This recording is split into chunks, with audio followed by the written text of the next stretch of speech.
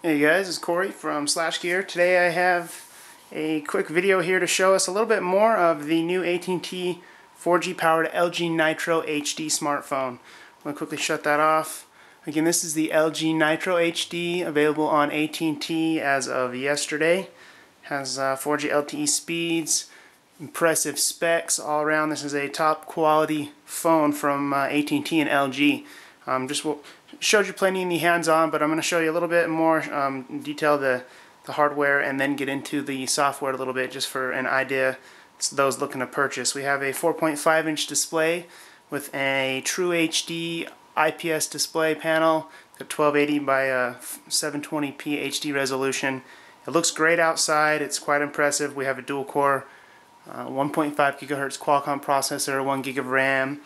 Uh, we have 16 gigabytes of internal storage as well as 16 gigabyte uh, micro SD card included.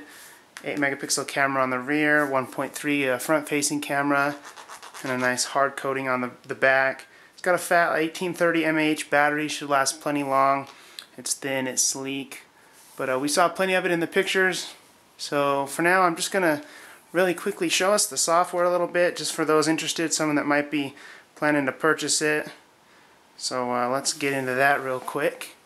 Here it is, here's the home screen. Everything's pretty smooth, pretty quick, pretty stable. It is an AT&T phone, so as usual we have, let's see, some AT&T family apps and barcode scanners and AT&T Navigator. I don't know if you can see that on screen. But uh, that's about it. We do have a Zynga Poker HD for that HD screen. That's not available in the market from what I could see, um, unless you know you have to have an HD screen to HD phone to actually search for it. But uh, they have three capacitive buttons down below. The menu button is actually the search button too if you long press that. I don't like when they turn off. It's, it's kind of hard to see them. You can see that here in a minute. They're almost invisible and then once you touch the screen they you know they light up again for you. But um, we, we've seen plenty from uh, LG before so a lot of this isn't extremely new but this was just kind of a rundown video for those interested.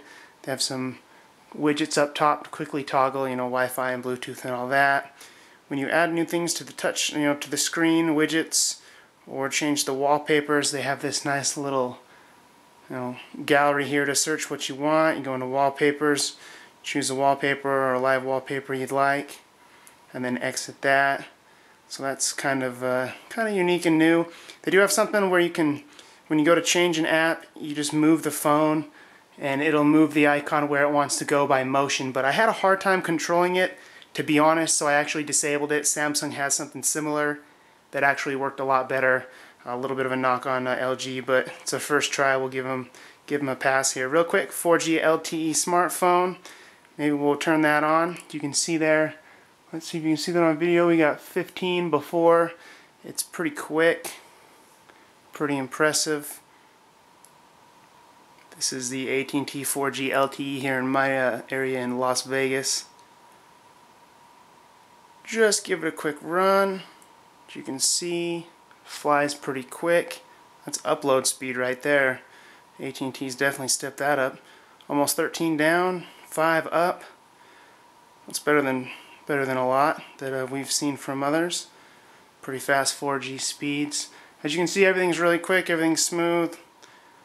Let's see what we can show you here. Go into the settings. Everything's pretty similar. We have Android 2.3.5 you can see that on video. But the screen's a super IPS display with uh, you know the 1280 by 800 it looks really good. It looks great outside like I said you know a minute ago. See if we can kind of adjust the volume for you here. Or not volume the brightness. It gets really bright really crisp. Uh, maybe maybe a little a little uh, cold on the colors but overall it's it's an impressive screen and I don't really have any complaints. It's very crisp. That uh, HD resolution looks really good. I haven't tried the Galaxy Nexus or some of those other high resolution phones, but uh, this definitely is impressive to say the least. But don't want to waste too much time here. Just a quick look at the new LG Nitro HD with 4G LTE thanks to AT&T. There it is. Thanks for watching guys.